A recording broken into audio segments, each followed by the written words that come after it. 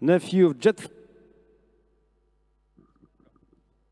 Nephew of Jetfire, who was a listed winning filly.